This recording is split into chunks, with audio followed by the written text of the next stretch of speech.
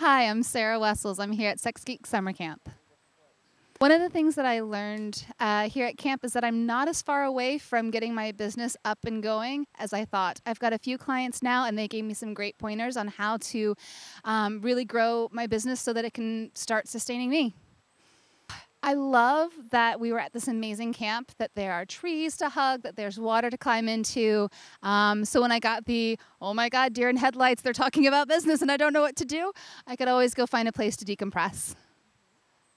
If you're on the fence because you think that maybe you're not far enough along in your personal business, I would recommend coming because I've just barely gotten my feet off the ground and I've got a lot of resources now that I feel like I can go back and start implementing.